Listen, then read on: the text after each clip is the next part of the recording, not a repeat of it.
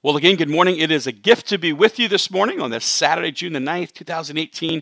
I am grateful to the Catholic Leadership Institute for everything that they have blessed us with. PMD has been a powerful gift in my life. I know that in your life, all the testimonies that we have heard from you Saturday after Saturday, as well as all the personal comments, continue to illustrate just the way that God is moving in your life in the way that PMD has been a real gift to us.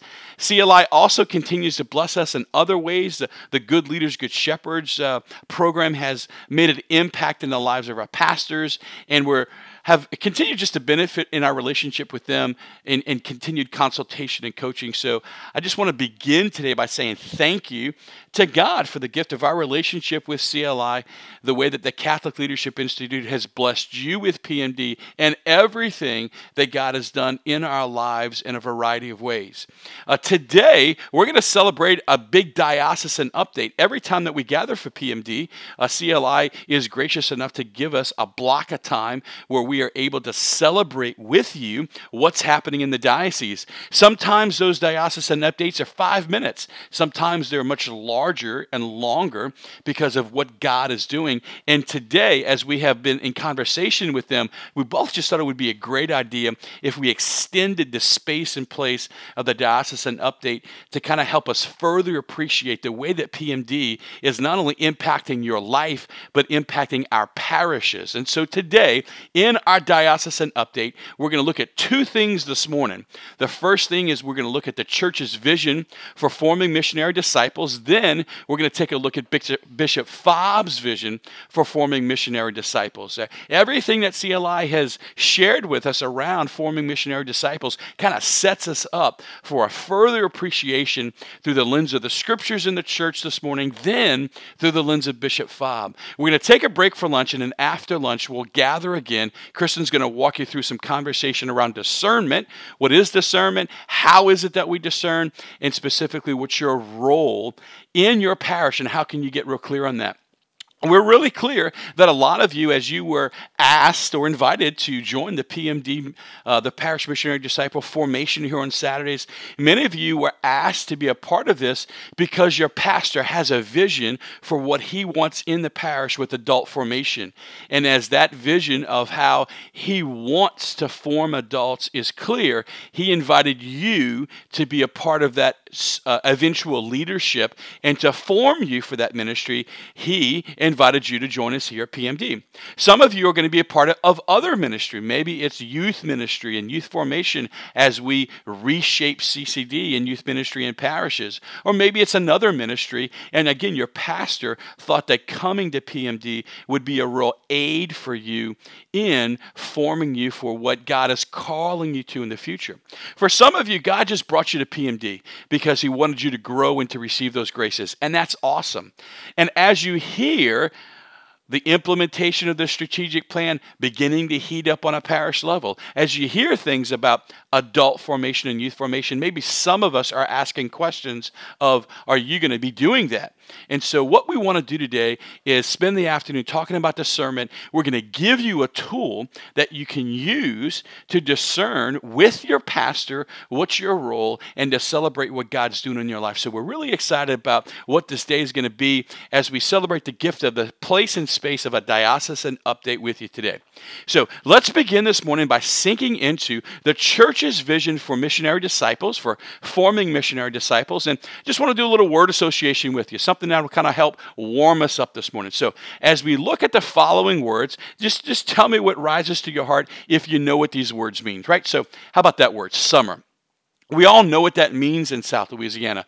We know when it starts, we know when it ends, we know what it feels like, we know what our experience tells us, and we know when we're in it, right? So we know what the word summer means. That's pretty clear. How about that heat index?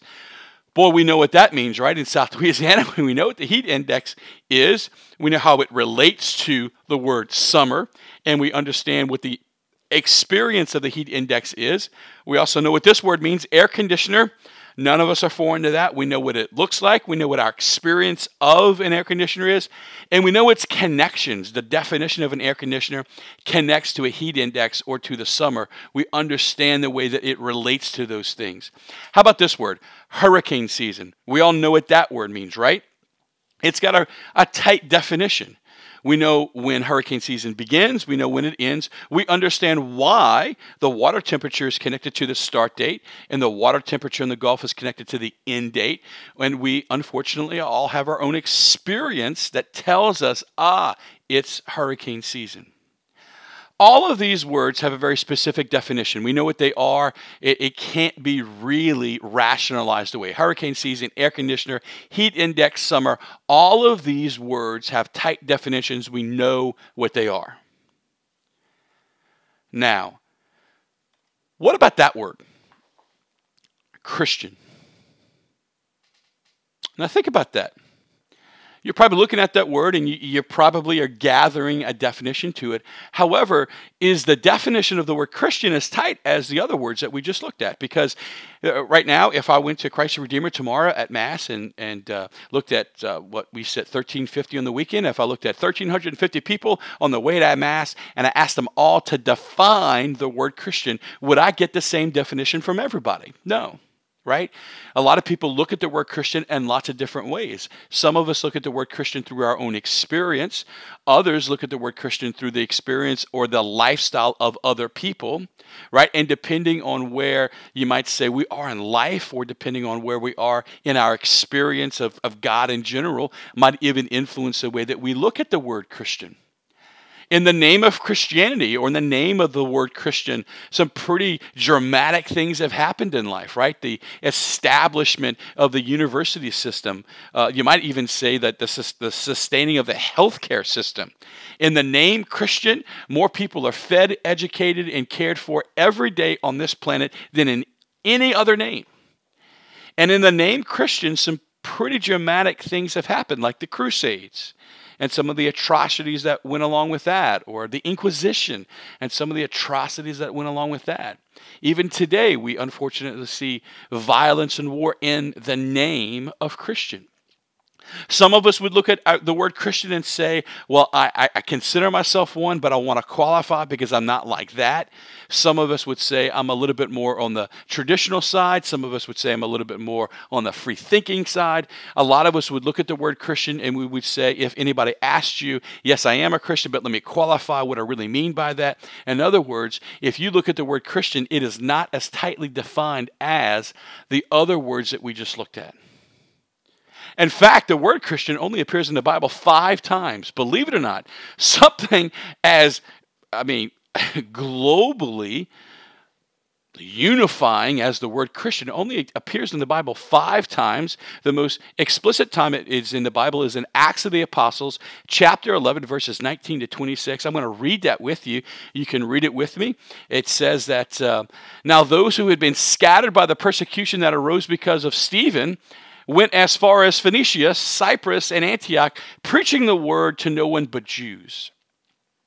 There were some Cypriotes or Cyrenians among them, however, who came to Antioch and began to speak to the Greeks as well, proclaiming the Lord Jesus. The hand of the Lord was with them, and a great number who believed turned to the Lord. The news about them reached the ears of the church in Jerusalem, and they sent Barnabas to go to Antioch. When he arrived and saw the grace of God, he rejoiced and encouraged them all to remain faithful to the Lord in firmness of heart, for he was a good man filled with the Holy Spirit and faith. And a large number of people were added to the Lord. Then he went to Tarsus to look for Saul, and when he had found him, he brought him to Antioch. For a whole year, they met with the church and taught a large number of people, and it was in Antioch that the disciples were first called Christians.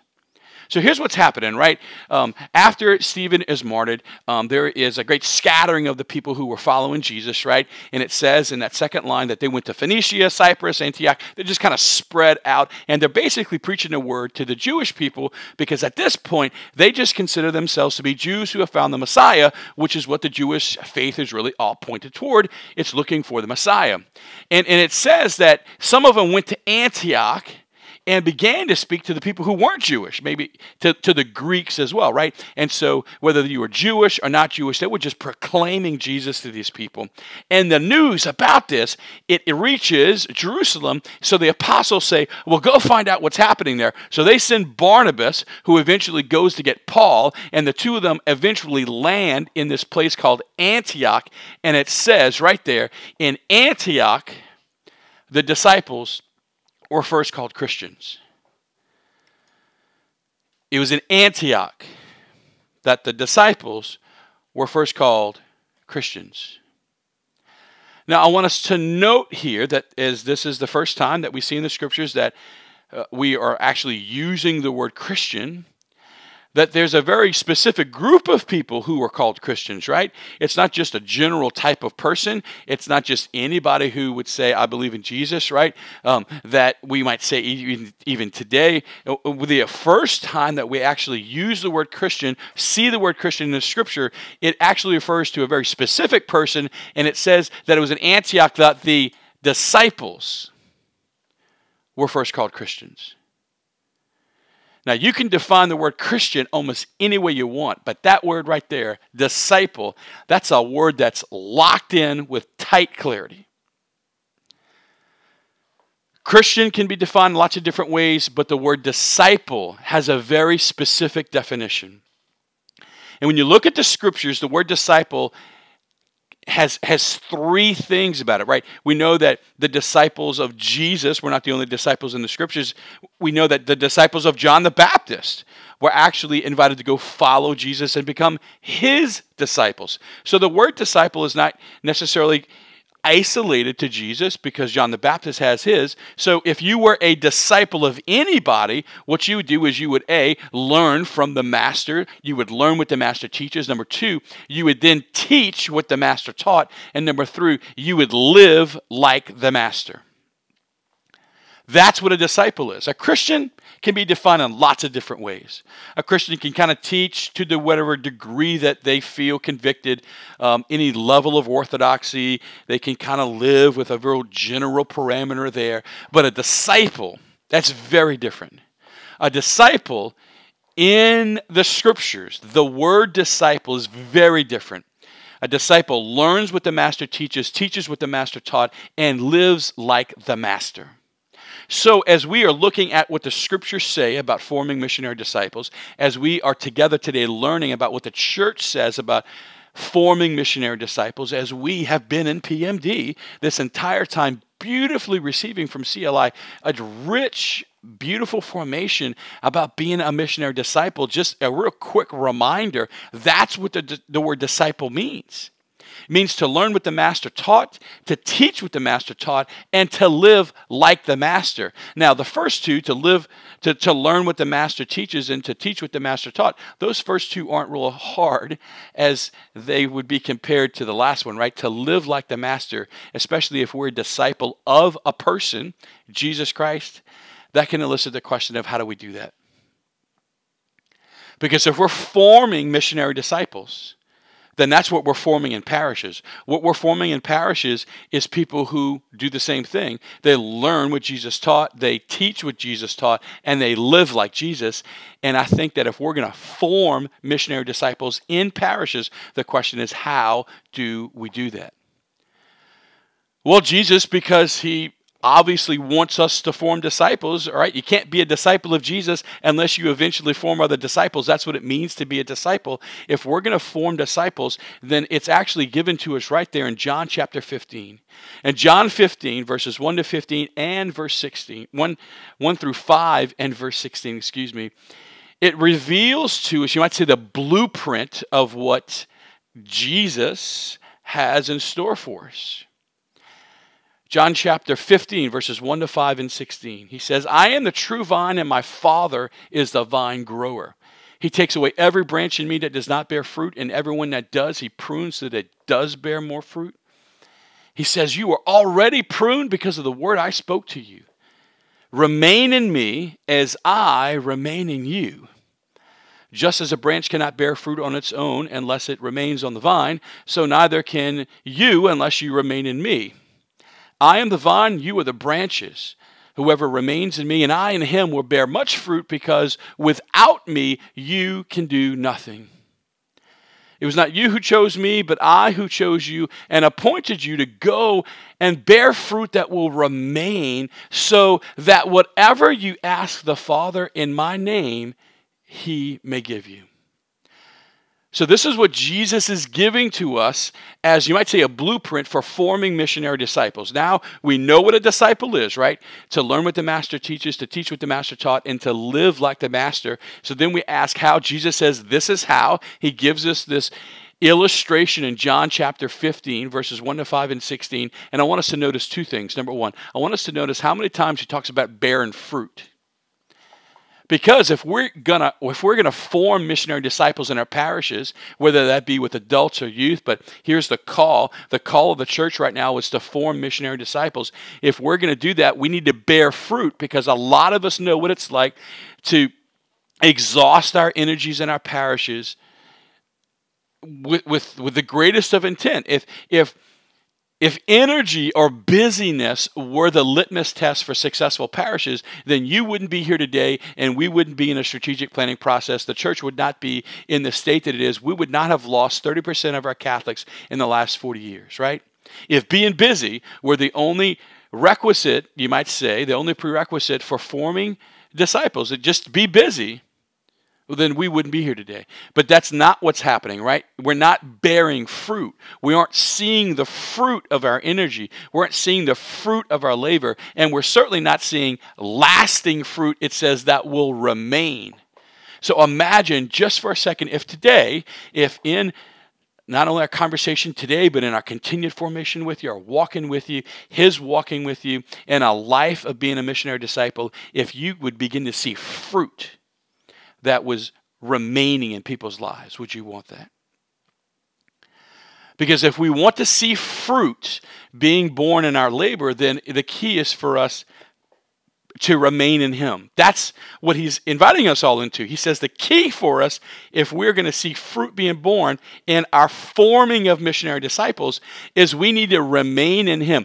To the degree that we can remain in Him, is the degree that we're going to see fruit being born, right? It's not about us. It's not about another technique. It's not about another program. If you're waiting for a program, for, the, for us to give you a program to implement in your parish that will transform your parish, here, here it is. This is the program.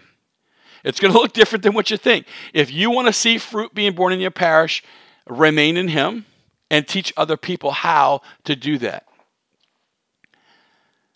He says, Remain in me as I remain in you, right? Who and you can't do this unless you remain in the vine. You can't do anything unless you remain in me. Whoever remains in me and I in him will bear much fruit. Why? Because without me you can do nothing.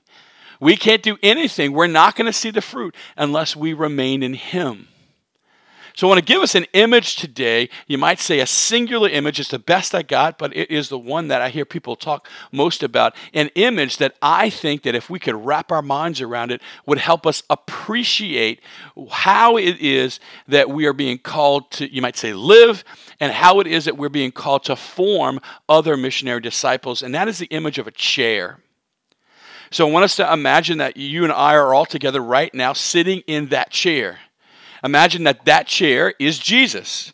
So if we're made by God for God, where are we supposed to live? We're supposed to live in Jesus. We're supposed to live in the chair.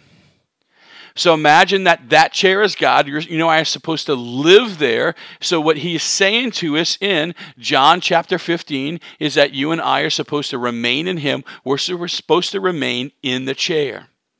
And to the degree that we are staying in the chair, to the degree that we are remaining in Him, that is where we're going to see fruit being born, right? So if we're supposed to live there in the chair, and if that's what we're called to do ourselves, if that's what we're called to teach other people how to do, then the question for us today again is how? How is it that we remain in Him so that we can see the fruit being born? Well, I think a lot of us perhaps are caught up in the way that a lot of Americans think, and that is we often define ourselves by the mission, by what we do, right? A lot of us came to PMD because you were going to be asked to do something. And a lot, as you got here to PMD and you were meeting other people, and people said, oh, Tell me a little bit about yourself, you probably started with what you do. We live in a culture that values um, lots of things, and whether it knows it or not, it places a high value on our mission. Guys experience this a little bit differently than women, but I think it's certainly out there. As a guy talking to guys, I can tell you that it is a lot of pressure on us to succeed, to provide. Uh, uh guys often try to prove who they are through what they do. It's our mission, right? And our mission, if we are acting like that, that's first and foremost. And to the degree that we are successful in the mission, well, then it forms our identity positively. But to the degree that we are failing in the mission, or struggling in the mission, or struggling in what we do, then that's going to have a big impact on our identity, right? So, what we see happening in a lot of people is our mission informs our identity and then, depending on how we feel about ourselves, our identity then shapes our relationship with God. So, what we see, the paradigm that we see happening across America right now, is that mission informs our identity, and our identity forms our relationship. So just stop right there for a second as you're, hearing all this, as you're seeing all this. I want you to think about your own life. And I want you to think about how influential in your life those three words are. And I want you to think about the people who God's going to probably call us to walk with, to work with. How many of them, their relationship with God is based off of who they perceive themselves to be, and that is really formed by their mission in life. The first time I ever heard this was from the Institute for Priestly Formation. I have a great love for what IPF does and a deep affection for the way that they have helped me in, in my life. And it is with permission, uh, explicit permission, uh, noting that this came from the Institute for Priestly Formation that I share it with you today because there's got to be another way to be. Because if we're going to be disciples, if we're going to live in God, if we're going to live in the chair, then we cannot think like, act like the way that you might say a secular American who defines their mission first, their identity comes from that, and their relationship with God flows from that. That can't be the way that works. You probably see where we're going here. We got to flip that on its head, right? We have to have, first of all, our relationship with God is first and foremost. Whether I am successful or not has no bearing on the, the reality that I am a son of God, claimed by Him and adopted by Him in baptism. My identity comes from my relationship with God. Nothing is more important than my relationship with God. So, whether the mission is flourishing, my relationship with God is first and foremost. If the, the mission is, is floundering, then my relationship with God is first and foremost. If the economy is doing great, if the price of oil in South Louisiana, if the recent layoffs or an uptake in the oil field if if all of that goes up and down, my relationship with God is first and foremost.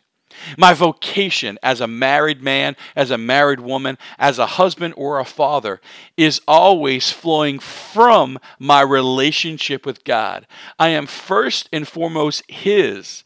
And, and, and that's what Jesus embodied, right? If we're going to learn what Jesus taught and teach what Jesus taught, if we're going to live like Jesus, we know that Jesus did not put his mission prior to his relationship with the Father, right? Our relationship with God is number one. That is what tells us who, who, who we are. When I know whose I am, then I know who I am. When I know that I belong to God, then I know who I am. My relationship with God forms my identity. And then from there, I receive my mission. My mission is not something I do for Jesus. My mission is something that I receive from Jesus and that I do in the chair, right? So if we're going to remain in Him because we can't bear fruit on our own, then what we know is that we have to live relationship identity mission with our relationship with God coming first. So, if you have been sitting in PMD week after week wondering when are we going to finally tell you what you're supposed to be doing, when are you going to finally get your mission, today is the day. Your mission is your relationship with Jesus Christ. There is no program that we're going to give you. There is no thing that we're going to ask you to do that is going to trump that. The most important thing that we are going to ask of you, that the church is asking of you, your pastor is asking of you, is to live in the chair, to have a relationship with the Trinity to be who God created you to be. Your relationship with God is the mission. There is no other mission than that. In fact, that's what we see in Acts of the Apostles. Look, go with me back to Acts of the Apostles, chapter 11. The first time that they were called Christians, right? It was the disciples. And look, right? It's what is it that happened? Barnabas got there. He saw all these people living in the chair. He said, when he arrived, he saw the grace of God. And he encouraged them to what? Remain faithful to the Lord in firmness of heart. And that, it was the way they were living in the chair. It was there in Antioch that those disciples were first called Christians, right? So our relationship with God is the mission. If you don't, if you forget everything else from the day. In fact, if you forget everything else from PMD, in fact, if you forget everything else from the entire strategic plan, and the only thing that you remember is this that relationship with God is the mission, then we have succeeded, right? That nothing else is more important than that because that's where we're going to receive what he's asked us to do with him rather than doing things on his behalf. I think the reason we're not seeing fruit is because we often get together in meetings and we come up with these great ideas and then we ask God to bless our good ideas. God is not interested in blessing our good ideas. God is interested in sharing the mission with us. He is interested in giving us his ideas, right? Our relationship relationship with God is the mission. And if we're going to live in the chair, then we have to be honest about the things that pull us out the chair and the things that help us stay in the chair. In other words, the chair, that's God. We need to live there. Now, none of us are going to do it perfectly, but just because we don't do it perfectly doesn't mean that we don't hold it in front of us as the invitation. That would not be of God. Just because it's hard to stay in relationship with God doesn't mean that that's, not, that's what God wants right? That's what he's calling us to do. Our relationship with God is the mission. So, the first thing that we need to do is we need a renewed commitment to prayer, to communion with Christ, right? That's why we've talked to you about Oremus. That's why we've taught you some of the basics of Lectio Divina or imaginative prayer. That's why we've talked to you about relational prayer of acknowledge, relate, receive, and respond. That's why we've spent so much time in PMD teaching you how to pray spontaneously right? When I'm in the chair, right, I have a relationship with Jesus, and that's all prayer is is responding to God who wants to have a relationship with us. And if we are going to live in the chair, then we have to have a renewed commitment to prayer. Now, I know that a lot of us might pray in the car. I know that a lot of us might pray at Mass. I know a lot of us might pray for other people. But if we are going to be mature Christians, then we need a mature prayer life.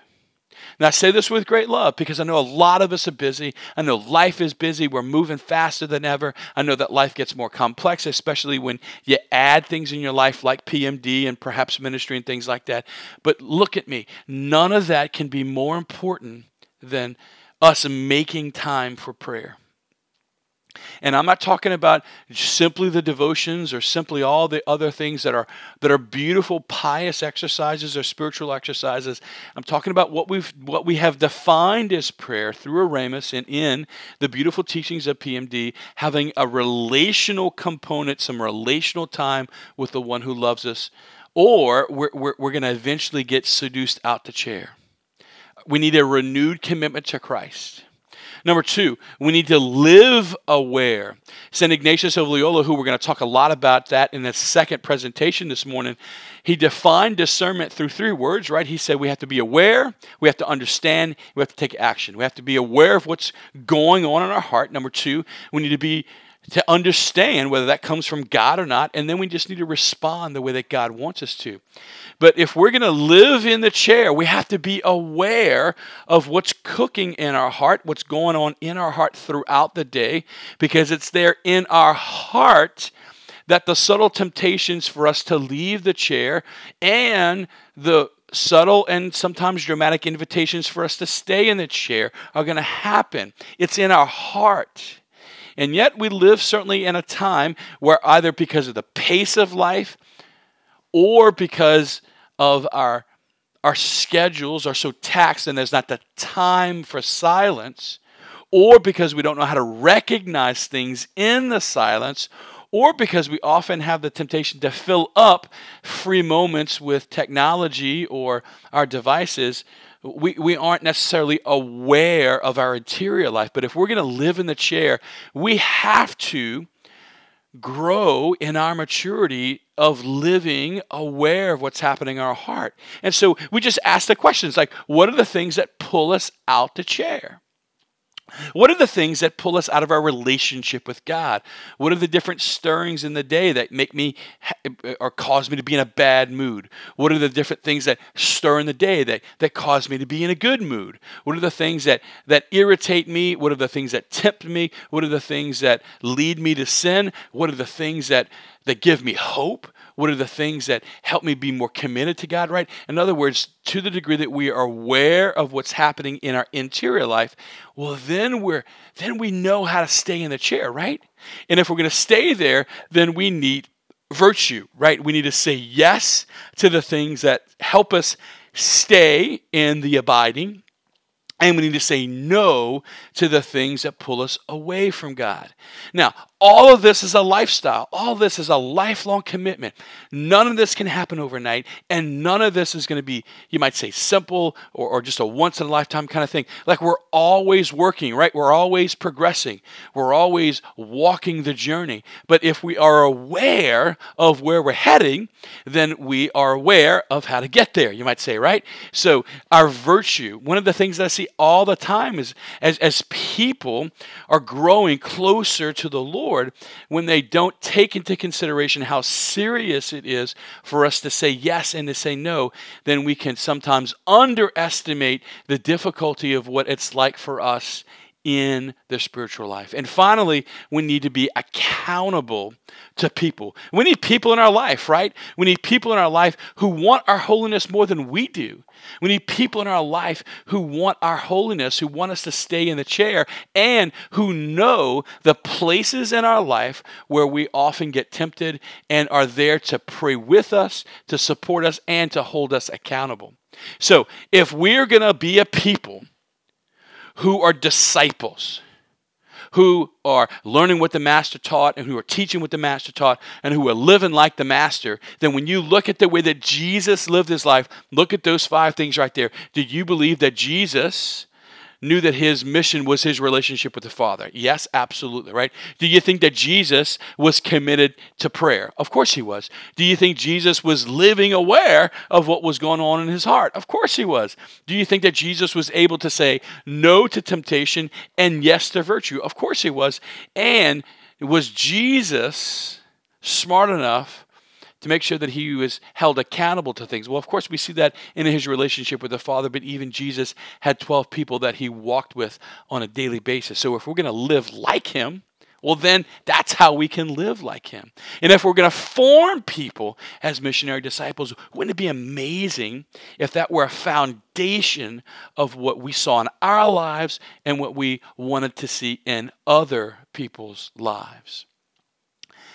If we're going to live in the chair, if we're going to be disciples, then we start here today.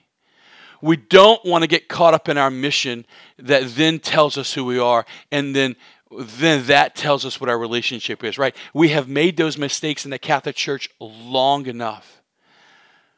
What we need is we need to take seriously our relationship with God, then forming our identity, then equipping us for mission. And those are the five things that we need. So we're going to take a break right now, and we're going to give you lots of time at your tables to unpack those things that are on the, the, the, the, the, screen right there. We want to take a couple seconds in small groups right now. And we want to encourage you to actually get into parish groups. Some of us at tables are actually sitting with, uh, with, with people who are in other parishes. We would encourage you to get into groups as small as your parishes, right? And to look at those five things of what I want to give you three questions right now to think about. Number one, what stirs in your heart when you see that? Number two, what rises in your heart when maybe with some fear, resistance when you see that? And what do you most need from God in order to live that? Let me give you those three questions again. Number one, what intrigues you with that? What stirs in your heart as you see those five things that are there as an invitation? Number two, is there any resistance, any fear, any intimidation? And number three, what do you need from God as you as you take a look at that? What we'll do is when we, we, we reconvene, we'll then now take a look at Bishop Fabre's vision for forming missionary disciples. But let's take a look, let's take a break right now and in our small groups right now unpack those five things.